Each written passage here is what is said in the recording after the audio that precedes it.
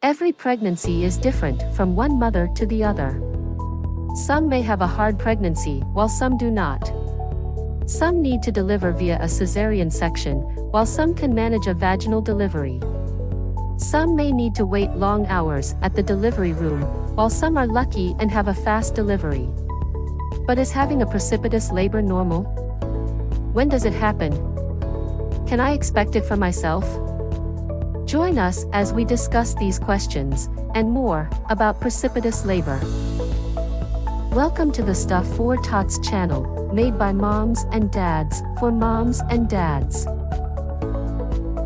What is precipitous labor?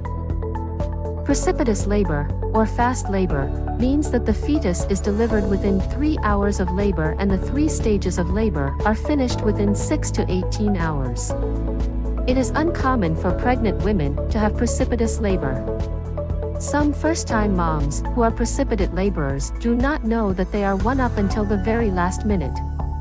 During precipitous labor, contractions are so painless that moms don't find it hard to undergo the first stage of labor, contractions to the full dilation of the cervix. One clue that you are indeed in precipitous labor is when you enter the second stage of labor, full dilation of the cervix to delivery of the baby, you will notice that you have an urge to push the baby's head out. If you are unfamiliar with contractions, this is when the muscles of the uterus tighten, which in turn causes the abdomen to become hard. In between contractions, these areas both relax again. Contractions occur when you have a certain level of oxytocin in your blood. Contractions feel different from person to person, but you'll be able to tell you are in labor when your contractions start becoming evenly spaced. For example, you'll have 5 minutes between contractions. This time will then get shorter and shorter. Signs and symptoms. Some manifestations of rapid or fast labor are the following. Strong contractions that are very close in frequency, and the absence or lack of resting periods in between the contractions. Pain that feels like one prolonged contraction. Sudden urge to push, like having a bowel movement and a strong pressure in the pelvis. Causes of precipitous labor. There are certain factors that might contribute to having a precipitous labor. These factors do not need to happen all at once, but will increase your chance of having one. Having a very smooth birth canal. History of precipitate labor. Baby who is smaller than average size.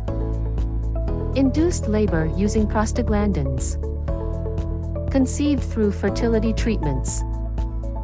Having a strong uterine contraction especially during labor. Having placental abruption. Chronic high blood pressure. Complications of precipitous labor. Like everything else, having a precipitous labor also contains its risk for both the mother and the baby for the mother. Increased risk of vaginal wall tearing and laceration of the cervix and vagina. Too much bleeding from the uterus or vagina because of poor contractions of the uterus. Retention of placental fragments may also occur. Shock after birth that may increase recovery time. Delivery in an unsterilized environment such as inside a car or a bathroom might cause infection for the baby. Precipitous labor may cause an interruption of your baby's oxygen supply during labor because of fast and strong contractions. Too much pressure from the birth canal can also cause bleeding in the skull of your baby. Rapid delivery may pose a risk of your baby being injured, especially when they unexpectedly fall to the floor or toilet bowl. Risk of infection from the unsterilized form of delivery. Potential aspiration of the baby from amniotic fluid. Emotional effects of precipitous labor. Like pregnancy, having a rapid labor may also have undeniable effects on your emotions. An adrenaline rush is the first feeling that you will have especially after delivery. Some mothers feel traumatized or depressed after having a rapid delivery, because everything just happened so fast that they didn't have time to adjust to the situation. According to medical studies, postpartum depression occurs in 13 to 19% of women. It is okay to feel exhausted and tired. You may need to have some time to recover and some alone time to do that. Don't force yourself if you don't feel like nursing your newborn immediately, as your body is still adjusting to the changes that are happening. Make sure to sleep when your baby does. Having a partner who can help take turns in taking care of the baby may help speed up your recovery process. Preparations for another fast labor. If you are a mom who previously had precipitate labor, there is a high chance that you might have another one. But in some instances, you might have a completely different labor the second time round.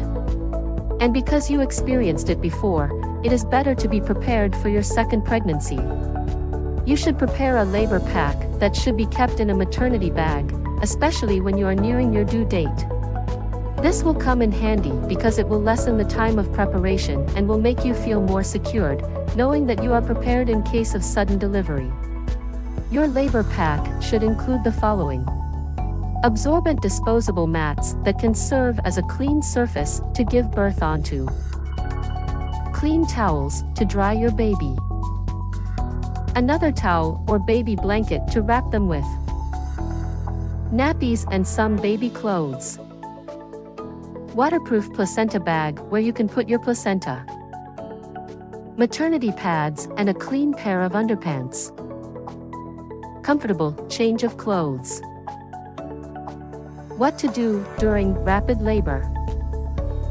Since things like this cannot be controlled, especially when the labor process starts to progress, it is better to take the following steps to somehow help control the situation.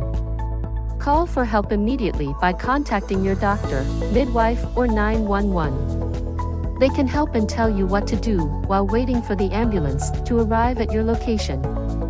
You can also ask for help from another person, ask them to call your husband, partner, or anyone that can help or support you during delivery. Stay in control and focused. Use breathing techniques to contain your thoughts.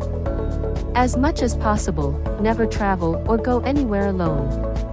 Make sure you have someone who can accompany you at all times.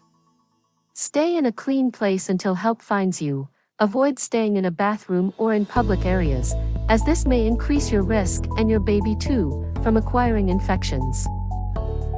We sincerely hope the information we've shared has shed some light on precipitous labor, and that it would help moms prepare for when it arises unexpectedly. Moms, have you experienced precipitous labor? If so, how did you feel as you went through it?